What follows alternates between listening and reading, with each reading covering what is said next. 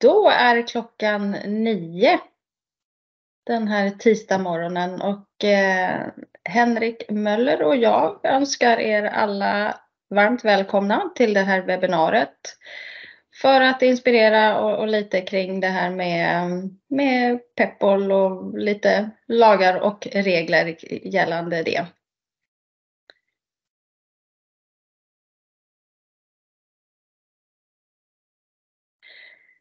Lite information om eh, webbinariet. Eh, om det finns då frågor och eh, kommentarer så använd gärna chatten.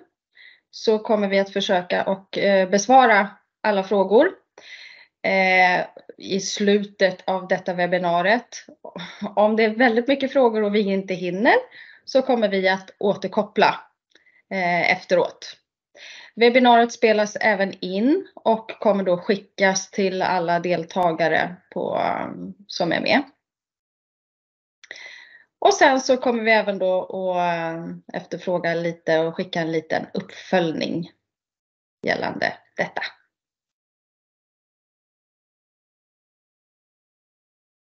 Då ska vi se um,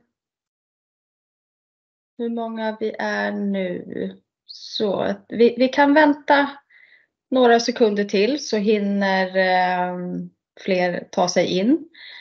Eh, ni som är, redan är med på mötet, om ni vill hämta lite vatten eller kaffe eller någonting så uh, do it!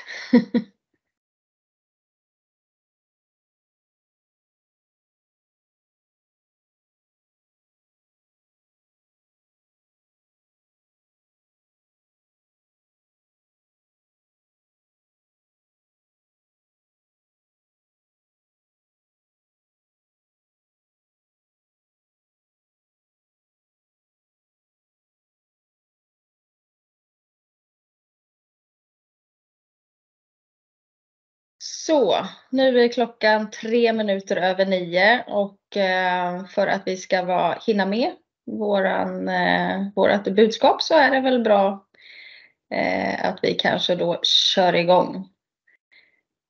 Henrik, har du möjlighet att gå tillbaka till agendan? Tack. Självklart. agendan för dagen Eh, vi kommer att köra en liten kort eh, presentation kring eh, BIX till att börja med. Det som är Business Information Exchange. Sen är det lite allmänt kring Svefaktura, vara eller icke vara. Lite grundläggande kring Peppol. Och lite hur ser dagsläget, dagsläget ut kring och kommande lagar i Europa. Och sen Vida. Och slutligen då, hur kan vi på Tieto Every hjälpa er som företag med inom detta område?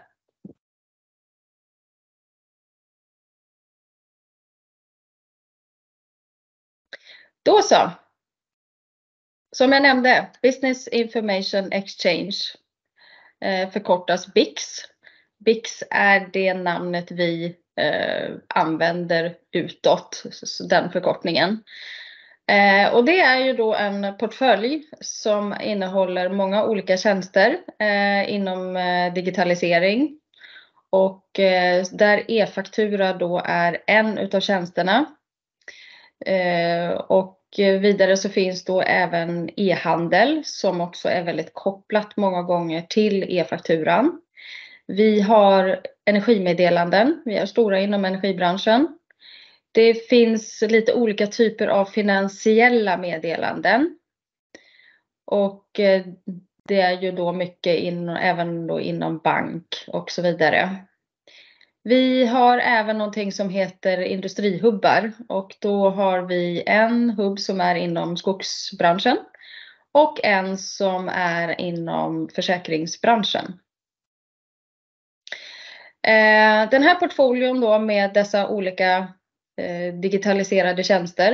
Eh, det är en del, de in, ingår i ett stort ekosystem.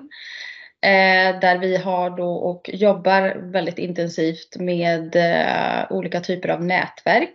Där Peppol är ett av nätverken.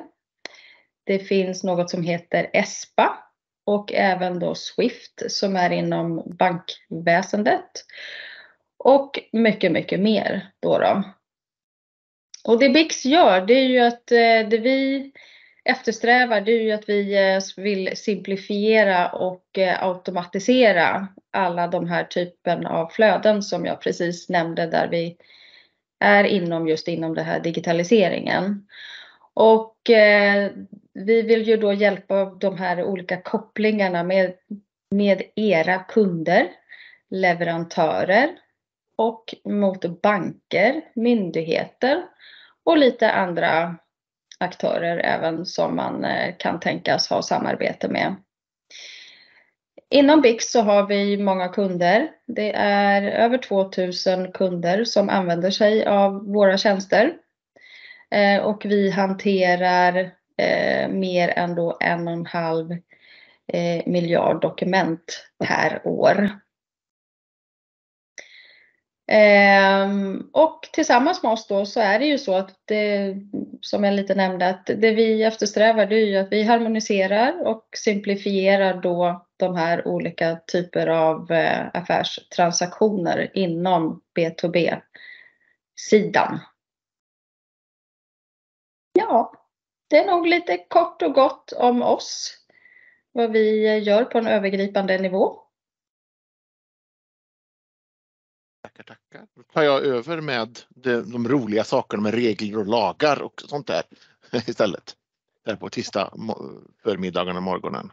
Jajamän, det låter bra. Ja, som agendan sa, eh, jag börjar med Svefaktura och det är ju ett format som har funnits nu i Sverige sedan 2005 hittade jag faktiskt första ehm, benämningen och använder man den och så tycker jag att man ska sluta. Anledningen till detta, det, det kommer mycket kommande information om lagar och regler, det är att Svefakturan, den har funkat jättebra nu i, i massor med år, men den följer inte längre den europeiska normen, eller den har aldrig följt den europeiska normen. Men, men ehm, det är därför man egentligen bör sluta med den.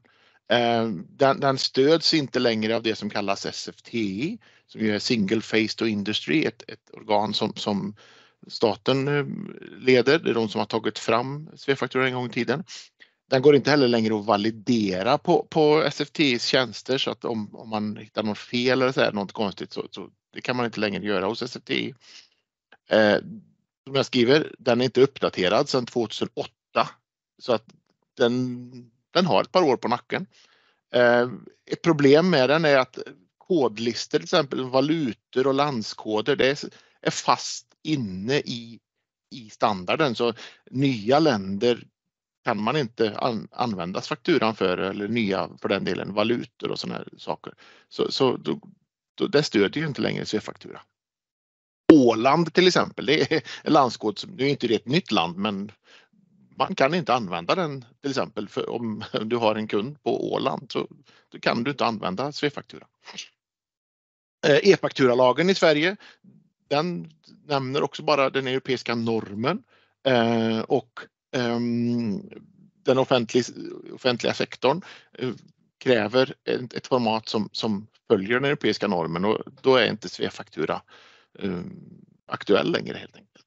Så att ehm, använder man sig fortfarande av eh, Svefaktura för att skicka eller ta emot, hör av er till oss så så um, hjälper vi till att börja ta fram hur kan ni byta till ett format som istället följer den europeiska normen. Till exempel Peppol BIS eller eh, TEAPS är också ett format som, som följer den europeiska normen. Så, eh, så att eh, jag, vill, jag vill verkligen uppmana er att, att se över det här med att pensionera användandet av C-faktura. Eh, jag nämnde Peppol BIS och då kommer vi in på Peppol. Eh, det är oftast ett, ehm, eh, ett, ett, en förvirring har jag märkt när man säger peppol. Och det kan väl också, jag förstår varför, för peppol är egentligen tre olika saker. Peppol är ett regelverk och en organisation som stödjer regelverket. Det är ett, ett fysiskt nätverk men, men det är ett, ett, nätverk mellan parter som service providers och accesspunkter. Och det är även Peppol BIS, det är format. Så att om det är någon som säger ja, skicka Peppol.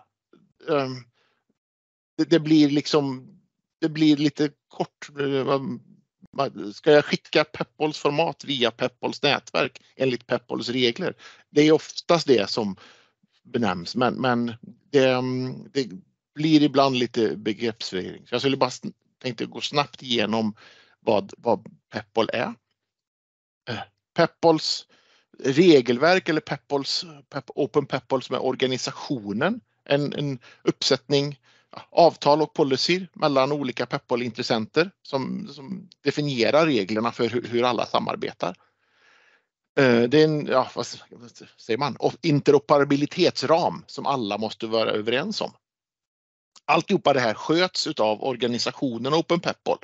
Så en sån open, vad säger man, en non-for-profit eller icke vinstdrivande organisation som just nu har sitt säte i, i Bryssel och leds av generalsekreteraren eh, från Norge. Han heter André Hoddevik.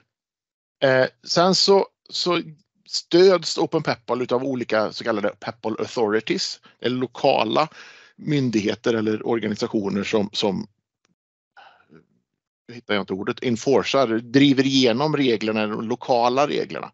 Vi har en, en eh, Purple Authority här i Sverige som, som leds av DIGG, Myndigheten för digital förvaltning. Det finns en i Norge och en i Finland och de här mörka länderna som ni ser. Malta är den lilla röda ringen under Italien och Singapore är en där borta. Den nyaste Purple Authority är Malaysia Eh, och sen eh, finns det även en i Japan och Australien och Nya Zeeland. Och Peppol sprids. Det var från början en europeisk initiativ men som ni ser det, det sprider sig eh, över världen så det är roligt. Totalt 530 medlemmar finns det Open Peppol igår faktiskt som då anammat tekniken och, och regelverket bakom Peppol. Open Peppol regelverk um, det bygger på det Peppols, eller ska jag säga, reglerar nätverket. Det är den andra delen i, i Peppol så att säga. Um, och, och, Avtalen anges vilka standarder och hur man ska, måste följa men också hur man skickar. Uh, man bygger, jobbar med någonting som heter fyrhörnsmodell.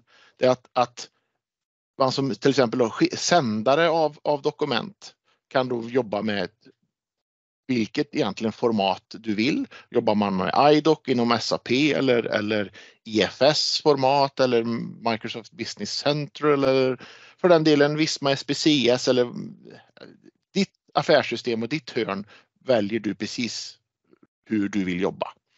Sen så jobbar man med, i, i den här hörnet C2 som vi kallar den. Det är den som service providers. Det, det här är den standardiserade delen. Inom Peppol så skickar man standardiserade format hela tiden. Um, vi, vi eh, som accesspunkt, vi skickar ett Peppol BIS-format eh, till en annan accesspunkt.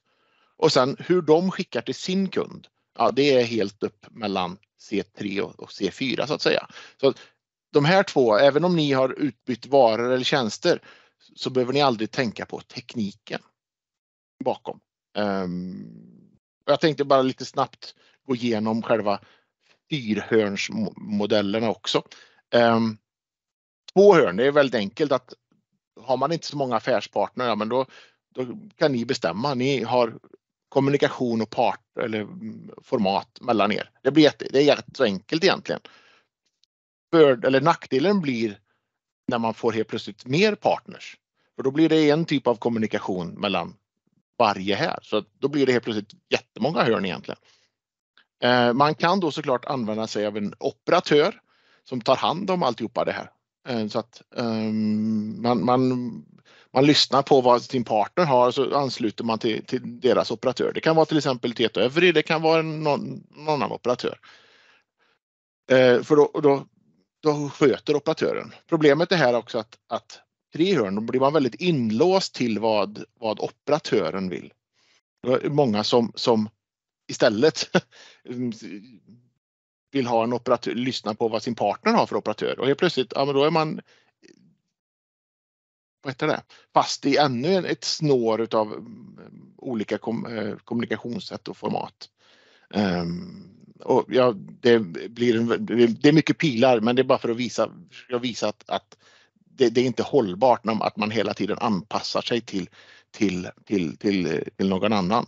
Istället då med, med Peppol så är fördelen här att eh, man har e-, en part som man jobbar med och sen så sköts all kommunikation standardiserat mellan de här två parterna. Eh, som mottagare så publicerar man vad jag kan ta emot. Vilken, jag säger att jag kan ta emot fakturer och så väljer jag vilket format jag kan ta emot. Eller visar man vilket. Så. Eh, när du då sen vill skicka till, till din affärspartner så, så ber man sin accesspunkt och gör en uppslag i det som kallas SML så får man reda på um, vart jag skickar hela tiden. Det gör det väldigt enkelt för, för både dig att byta ut den här partnern eller byta din kund att byta partnern här. Det behövs inte eh, kommuniceras en massa information om att ja, nu vill vi istället använda oss av den här operatören med de här kommunikationsinställningarna och det här formatet.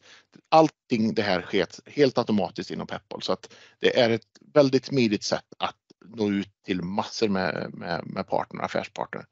Vill man läsa mer om, gå in i, i, i ehm, mer teknisk info så, så finns det här en, en eh, länk sen som ni får efteråt till, till SFTI som har, har en, en, vad kallas det, promemoria tror jag till och med det kallas. Där de har gått igenom och eh, gräver sig ner väldigt djupt i det tekniska om man, man är sånt. Det är så hur som tekniken ser ut, hur man utdelar format eller dokumenten. De olika dokumenten sen kallas PEPOL-BIS och BIS står då för Business Interoperability Specifications. Eh, Peppol BIS finns flera olika. Det finns för faktura och kredit, eh, fakturasvar, order och ordersvar. Så alla olika typer av eh, affärsdokument har oftast eller har en Peppol BIS som är standardiserad. Det är den som skickas då mellan hörn 3 och 4 enligt den här, eh, förlåt, hörn 2 och 3 eh, enligt tidigare karta. Ehm, Bygger på UBL som är en XML-standard. Ehm, det finns både pre-award, alltså det som sker eh, innan tilldelningen i en upphandling. Um, um, nu står det helt still. Mm. Ja, upphandlingsdokument och tilldelningsbeslut och, och alla de här ja, innan tilldelningen utav av, um, upphandlingen. Efter tilldelningen så snart faktura, eh, order och sen så finns det även Peppol Payment efteråt där man kan även skicka betalningar alltihopa via, via Peppol. Så det finns många olika ty, de, eh, områden inom Peppol där man kan skicka dokument. Um, och eh, vad är det mer? Peppol Logistics är också ett väldigt ett nytt område som man också har på, på europeisk basis för, eh, eh har tagit fram format för att standardisera detta.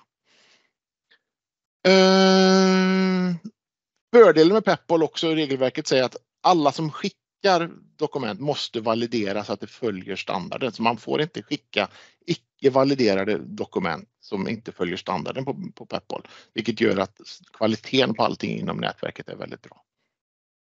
Um, norm, vi har pratat om europeiska normen och standarden. Ett begrepp som ni kanske känner igen är en 16931. Känner ni inte igen det så är det bra för då har ni ett liv utanför e-faktura. Ehm, det är en, eh, den europeiska normen för e-faktura. Ehm, normen är någonting som bestämmer hur, vad som ska ingå i de olika standarderna. Sen så kan en standard uppfylla normen. Ehm, TAPS XML är ett format, Peppol BIS Billing är ett format, Finvoice är ett annat format som alla uppfyller normen. Eh, det finns något som heter Zugskärd i Tyskland och det finns Faktur-X i Frankrike. Alla är de här standarder som uppfyller normen. Ehm, så att det krånglar till det såklart ibland, men, men ehm, ja, alla länder vill ju vara lite unika på sitt eget lilla sätt. Ehm, är man en mottagare i Peppol så är det obligatoriskt att ta emot Peppol BIS eh, varianter av, av formaterna. Du kan publicera att du kan ta emot till exempel Sogfärd som är den tyska eh, eller, eller X-Rechnung som också finns i den andra standarden. Men du måste också absolut minst ta emot Peppol BIS. Så att um, Peppol BIS är ett väldigt, väldigt bra format som, som, som alla ja, måste kunna ta emot. Då. Eller varje accesspunkt måste ta emot. Som jag visade, du som slutanvändare, du kan ta emot det kan bli en pdf in i ditt system eller en textfil, men din accesspunkt måste hela tiden eh, ta emot Peppol BIS till den som, som skickar till dig. Den här typen av konverteringar, det är, absolut, det är sånt som, som vi på Tieto Everybix gör också varje dag. Så att det är inte så att du, du är tvingad att, att ta emot det, men eh, din, din, din Peppol-registrering måste kunna ta emot en Peppol BIS minst. Eh, supply chain, alltså orders, de följer också den här eh, normen även om det inte finns en norm för order. Men begreppen inom de här standarderna, de, de följer också normen. Eh, något mer om standarderna egentligen? Nej, det, det är väl det om, om de olika. Eh, de olika ehm, regler och lagarna då inom Norden där man nu kan börja liksom eh, få fart. Alltså e-fakturor ger ju en, en jättebra möjlighet att automatisera och effektivisera e-faktura eller fakturahanteringen. Ehm, fördelen med Norden är att vi har kommit väldigt långt. Vi är väldigt duktiga på att, att automatisera och effektivisera. Ehm, när vi för det första, vi, vi betalar våra skatter så vi, vi har inte så mycket det kallade vattgapet som, som många pratar om, alltså skillnaden mellan eh, hur mycket skatt vi saknas. Eh, vi jobbar med att, att göra det så effektivt och, som möjligt att, att göra affärer. Eh, e-fakturan eh, i Norden har kommit väldigt långt om man jämför med, med Europa så att eh, det är bara det är någonting som finns här. Eh, längst skulle jag vilja nästan kom, säga det är att har Finland kommit. Där har man en lag sedan 2019 där vem som helst egentligen eller vilken köpare som helst om du omsätter mer nu. Nu fall gränsen bort, men jag har för mig att det är 5 eller 500 000 euro. Att du, om, omsätter du över den så, så kan du kräva att dina leverantörer ska skicka e-faktura till dig om den uppfyller den europeiska normen. Um, och i, i, Finland så betyder det i stort sett TAPS XML eller Finvoice. Man kan även skicka Peppol i Finland. Det är på gång uppåt men, men än så länge så är det ja, gam, eller, mm, gammal samtrafik helt enkelt som, som gäller. Och där är ju Tieto Evry sedan länge en, en operatör som, som har anslutningar till alla operatörer. Men är du eh, en, en, skickar du e-faktura i, i Finland så kan din kund kräva att du ska skicka till dem oavsett om det är ett privat företag eller en offentlig verksamhet. I, i Danmark så, så, finns det också lag på att man ska skicka e-faktura till, till offentlig sektor. Eh, där håller man på nu också att införa en lag som att alla affärssystem ska kunna hantera e-faktura. Eh, beroende lite på storlek på företag. Men 2024 började det rulla ut de här kraven från de stora företagen att de måste kunna skicka, eller deras affärssystem börjar. Där kommer också alla kunna skicka. I Danmark skulle jag säga att alla redan kan skicka e-faktura, men nu kommer det ännu mer krav på att alla i Danmark kan skicka. Är du en stor köpare eller stor mottagare av fakturor i Danmark? Ja, du kommer utan problem att bara kunna kräva dina leverantörer att skicka till dig får du upp stora volymer på, på, på leverantörsfakturorna. Och eh, skickar du faktura i Danmark, ja, men du behöver också bara kunna stödja ett, ett format. I Norge och, och Sverige, där har vi eh, lag på att all offentlig upphandling måste faktureras på, eh, eh via den ja, europeiska normen. Så gäller även Island. Eh, så att um, är du en leverantör till offentlig sektor, ja, då måste du kunna skicka Apple BIS för eh, det, är så de, den offentliga sektorn finns tillgänglig. Eh, det gör ju också att är du en köpare som inte, eller vet du att dina leverantörer även skickar till, till offentlig sektor, ja, då vet du att de kan skicka e-faktura även till dig om du är ett, ett privat bolag. Det finns inga, inga svårigheter längre med att kräva e-fakturor av sina leverantörer. Alla, jag vågar säga att alla faktiskt kan skicka e-faktura idag. Eh, det, det, är inte speciellt svårt. Är, är du en stor leverantör, eh, det, det kommer jag till, till, till längre fram, samma hur man kan nyttja de här lagarna till, till sin fördel också. Eh, eh Tittar vi utåt lite i Europa eh, så har jag tagit de, de, mest aktuella, de stora ekonomierna. Frankrike så har, kommer det komma en lag på, på e-fakturing, e e-fakturering. I, i ja, söder om Danmark eller hur man nu vill säga, men utanför Norden, där, där, eller utanför Sundbyberg där jag bor. Jag på säga. Nej, men utanför um, Norden så är säger man, driven bakom. Där har man större problem med att uh, man inte får in tillräckligt mycket, mycket skatt. Eh, det här jag nämnde förut, vattgapet eller mm, så. Det var 2020 var det 90, jag tror det var 93 eller 99 miljarder euro som saknades inom, eh, inom olika länderna. Eh, 2021 hade det faktiskt minskat med nästan 30 miljarder så det är jättebra men det är fortfarande 60, 61 miljarders euros i vattengapet så det är enorma mängder pengar som saknas. Bara Frankrike har för mig det var 17 miljarder som saknas. Så deras driver bakom att, att lagstadga e-fakturering det är att, att de vill veta vad alla företag ska betala i skatt. Så där kommer man ha obligatorisk e-fakturering och med en, en en kopia av allting eller en rapport från varje faktura ska in till staten i, i Frankrike så de ser att ingen eh, kommer undan. Eh, det skulle varit en lag nu redan 2024 i Frankrike men de tog ett beslut att skjuta upp det här i två år. Tyvärr kan jag väl tycka men det, där skulle lagen vara så att, att alla i, i Frankrike var tvungna att kunna ta emot e-faktura 2024. Och sen så la man ett, ett, ett lagkrav på att stora företag ska, måste kunna skicka från 2024, medelstora 2025 och små 2026. Så att först låg kravet på att man skulle kunna ta emot och i Frankrike, det som är eh, formatet Fakturex är ett så kallat hybridformat. Så det är en, faktiskt en pdf med, in, med XML inbakat. Så att pdfen kan man läsa eh, och hantera och då räknar de det tyvärr då, kan jag tycka, som en elektronisk faktura. Eh, XML som finns inuti pdfen följer den europeiska normen så det är därför de har fått godkänt på det här. Men det gör ju också då att ja, från början kan alla företag ta emot en elektronisk faktura kanske inte så lätt att automatisera på den, men, men eh, vi, vi, mm, ja, det var så.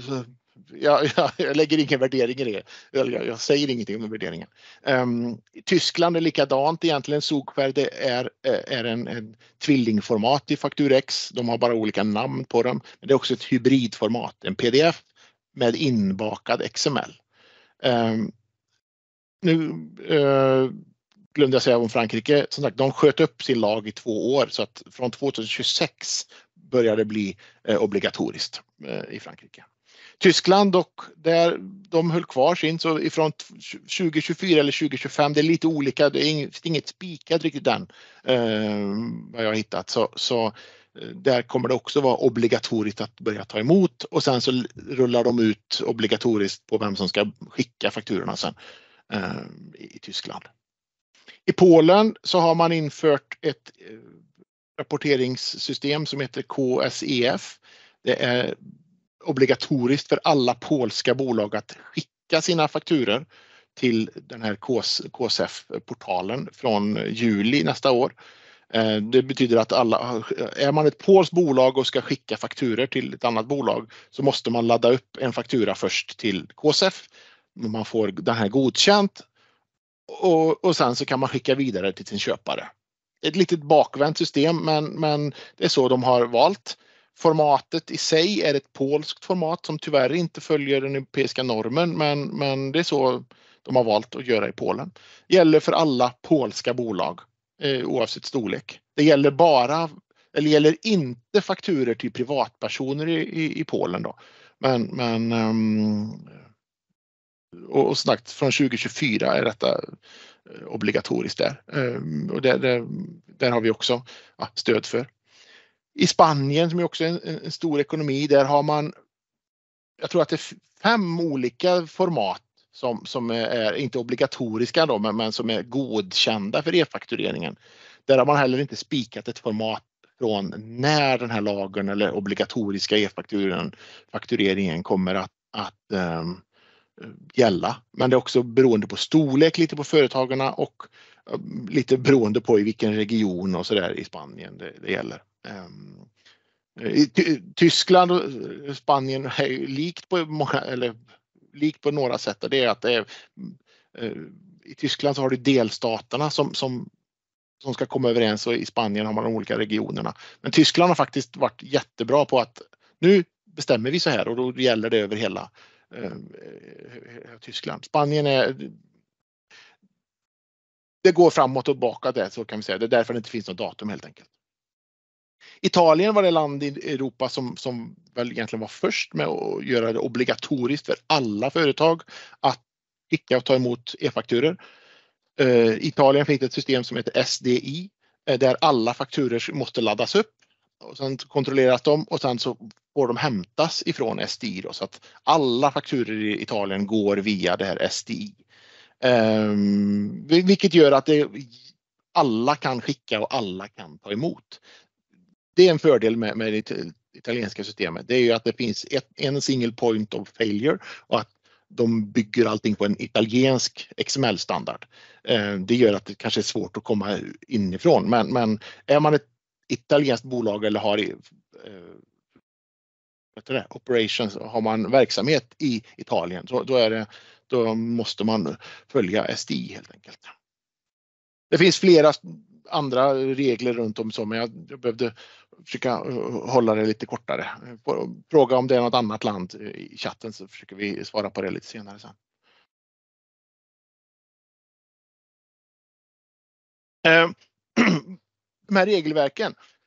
Eh, alla köpare inom, eller alla offentliga eh, köpare inom EU måste ta emot en faktura som uppfyller normen. Peppol Biss eller TEAPs Second Så om du är leverantör till en offentlig verksamhet, då kan du kräva att de ska ta emot. Det är inte bara de som kan kräva att du ska skicka. Du kan även kräva att de måste ta emot. Eh, så är det i Sverige också. Alla offentliga köpare, de måste hantera den europeiska normen. De ska finnas med i Peppol och de, är du med i Peppol så måste man ta emot. Det finns ingen Eh, offentlig köpare som kan neka dig som leverantör om du skickar en, en, e-faktura till dem. Eh, inte inom Peppol. Det finns ett, ett gammalt skrivning i momsdirektivet som säger att, att köparen måste vara, vara liksom, ja, men du måste eh, be om lov först. Eh, men ja, i Peppol så måste du ta emot så att det kan du sätta tummen i ögat på dina offentliga köpare. Japp, ni måste ta emot en, eh, en faktura som uppfyller normen. Peppol BIS uppfyller normen så då, är, då måste de ta emot. Eh, det kan vara bra att, liksom, att det gäller åt båda hållen. Eh, om du köper eller är du en kund till offentlig sektor kan du också kräva att de ska skicka e-faktura till dig. Eh, det är inte som sagt, du ska inte behöva bara skicka till dem. De ska också kunna skicka till dig. Eh, det är också en sån här lite bortglömt. Att, att Bolagsverket eller, eller Skatteverket för den delen också, men om, om du har en offentlig kund och, och du kan ta emot den europeiska normen som du då kan som Peppol-mottagare, ja, då ska den offentliga leverantören skicka en e-faktura till dig. Um, um, ja, de här två sista punkterna, men som jag sa, Italien och Polen alltihopa, det gör ju att, att har de lagstiftat om e-faktura, ja då måste de även, um, vad heter det, um, då, då måste ju alla leverantörer stödja e-faktura och det gör att man då som stor köpare även kan lätt nyttja det för att få igång e-fakturorna från sina leverantörer uh, och automatisera det på det sättet. Ehm, nu ska vi se. Har vi där missat någonting?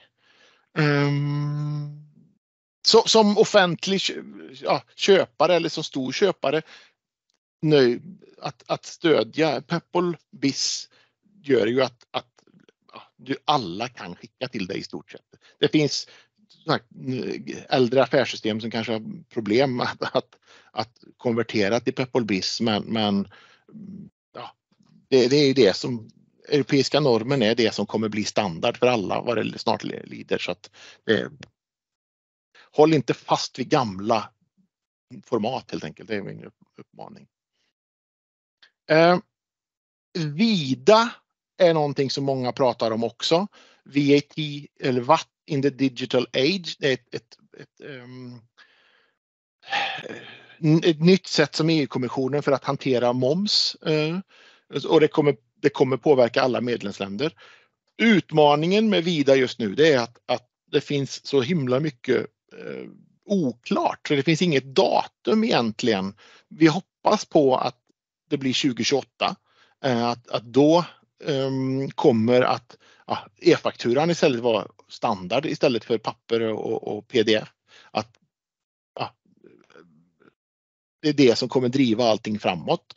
Eh, DRR och CTC det är också begrepp som, som, som jag talat om att, att, att man registrerar en faktura eller skickar en kopia till staten. Och så här. Det, det är samma namn eller olika namn på samma typ av, av sak. Eh, det är också någonting som doppar upp. Det jag pratar om Polen, jag pratar om Italien, eh, Italien, eller förlåt, Spanien, Ungern. Man hittar på olika eh, lokala initiativ. Det vill självklart EU eh, ta bort, att alla länder ska följa samma typ av registrering och rapportering. Det är det vad Vida, eh, en av sakerna. Att, och även då eh, intra-community-handeln, alltså handel mellan företag inom, eh, inom unionen ska underlättas. Men all den eh, faktureringen ska då ske elektroniskt. Eh, idag så rapporteras det här manuellt. Eh, i, inom, ja, innan 2028 så ska detta göras automatiskt och digitalt. Eh, så att så att göra det enklare för företag att både följa regler och även att rapportera helt enkelt. Vilket då förhoppningsvis då ger ett ännu mer minskat momsgap och mer kontroll. Då. Det är enklare också att hitta momsbedrägerier. Den typen. Jag pratar om momsdirektivet. Köparens samtycke behövs inte längre då heller. Att man måste be om lov att skicka ner faktura. Eh, eh, finns man inte i Peppol och man har direkta kopplingar då, då ska det egentligen vara så att man behöver eh, eh be om lov. Eh, i, ska, är man riktigt som ja, följa på alla paragrafer då bör man så men i, i och med att Peppol det finns inte det där så då, då, ehm, ja, då ska man inte behöva be om lov. Men då, längre fram så, så, så kommer du kunna skicka e-faktura utan verkligen inte be om lov helt enkelt. Um, i, i, till exempel då i Polen där har man gjort en mischmasch av, av, av central rapportering och att man måste be om lov hos köparen. Så det, det, all typ av sådana här konstiga regler det vill då Vida, eller Vida ta bort så att det blir mycket, mycket enklare att, att ehm, både börja e-fakturera och men även att, rapportera. Ehm, det var väl det mesta, det var mycket information. Ehm, vi har några minuter kvar. Vi ska se. Titta över som sagt som Eva sa i början. E-fakturering och e-handel är sånt vi gör varenda dag så det, vi kan hjälpa er både som um, sändare och, um, och mottagare för detta. Um, vi jobbar inom flera arbetsgrupper eller workgroup som Open Peppel kallar dem där ta fram nya sätt att rapportera och registrera fakturor men även nya format och nya affärsområden. Vi har varit med i, i, i detta från, från Peppos början. Ehm, Discovery är, är, är, en av de största accesspunkterna faktiskt i, i era världen när det gäller med transaktioner. Vi har varit med och tagit fram både Peppol Payments och, och Logistics. Så att eh, vi, det här kan vi på, på våra fem. Och vi, sagt, vi följer all den här regelverket och håller kunderna eh, er informerade om förändringen. Då ska vi se. Eh, hoppar vi dit. Ja, som sagt, nu vi tar lite, jag hoppar in i chatten. Ska vi bara hoppa få fram rätt, eh, rätt eh, ruta här ska vi se. Och här finns våra mejladresser om ni vill ha frågor efteråt här sen också. Annars eh, Henrik kan jag läsa frågorna så ja. har vi våra mm, mejladresser uppe tänker jag. Ja absolut, bra så gör vi. Eh, då har vi första frågan eh, som är, lyder Finns det något konkret datum för när Svefakturor kommer att fasas ut? Eh, jag upplever att många bolag ändå erbjuder Svefaktura eller kan ta emot i detta format även om stödet inte finns. Ja men precis. Um, nej, det finns ju tyvärr inte det. Alltså inom offentlig sektor så, så har ju SFT gått ut och sagt nej, sluta använda det. Vi vill inte ha det. Men, men det är många som fortfarande använder och erbjuder det precis som, som frågeställaren eh, frågade. Eh, det är lite upp till oss operatörer egentligen också att hjälpa till och, och dra repet eller hur man nu ska säga. Att, att så länge någon vill ha kvar det så, så, är det ju tyvärr så att den kommer leva kvar. Men det finns ingen anledning egentligen, tycker jag, eh, att ja, men, ta bort det. Eh, men det, nej, så länge någon säger att ja, vi har stöd, ja då kommer det finnas kvar. Mm. Eh, så att nej, det finns inget datum. Eller tyvärr får jag väl säga då. Ja, jag säger tyvärr. Ja, men ja. lite så är det ju ändå. Ja. Det är ju ändå så att om man jämför den med en Peppol BIS-faktura så, så är det ju väldigt klent med information. Eh, mm. Vilket då kan ställa till det. Nästa fråga. Mm. Hur mycket ska du fakturera per år för att ha Peppol? Um, ja, alltså det beror lite på. Uh,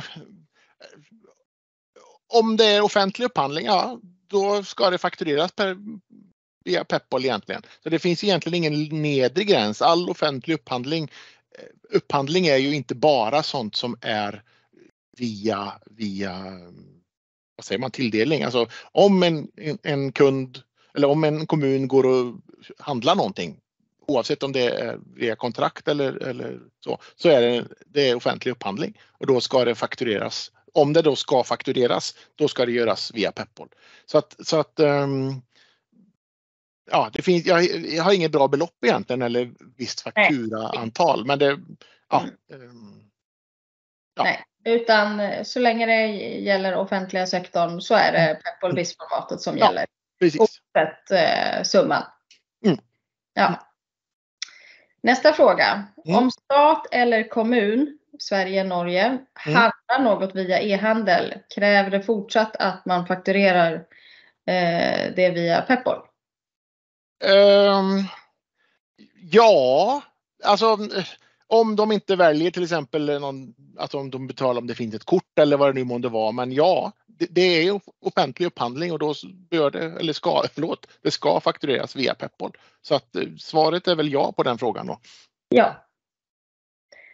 Eh, ska vi se, vi hinner med någon mer fråga. Eh, samtycke med mottagaren av faktura behöv, behövs inte redan nu. Som leverantör kan vi bara mm. eh, ställa om till Peppol BIS. Ja, alltså. Ja, är väl egentligen mitt. Sen kan jag brodera ut det svaret hur långt som helst egentligen. Men är man i Peppol då måste man ta emot fakturan om den uppfyller Peppols regel, eh, Peppols format. Eh, så, så, är det så. Sen så, så finns, kommer det säkert finnas någon mottagare som säger nej men, nej, men, men Peppols regelverk säger att som mottagare så måste du ta emot dokumentet om det uppfyller Peppol-standarder. Um, ehm, men, men sen kan vi sitta här hela förmiddagen om, om jag ska prata mer om det här, men då kommer också mitt blodtryck eh, stiga. Jag, eh, klockan är nu eh, 9.45 och våran tid är ute. Vi har fler frågor i chatten och eh, vi kommer besvara dem via eh, svara, besvara dem då.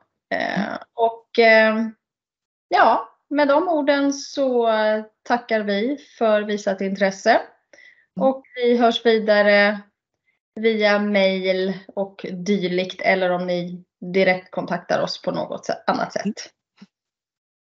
Jättebra. Tack så jättemycket. Snack, maila på och Tack så jättemycket för idag. Mm, tack. Ha en fin dag. Hej.